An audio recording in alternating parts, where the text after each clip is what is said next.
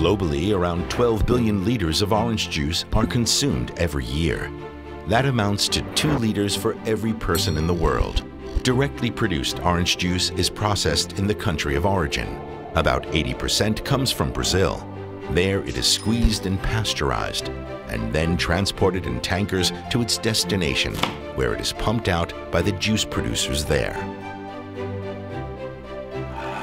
When producing fruit juice from concentrate, the freshly squeezed juice is heated, allowing the water to evaporate and the volume to be reduced to a sixth of its original weight. What remains is the concentrate, a sticky sweet and sour mass.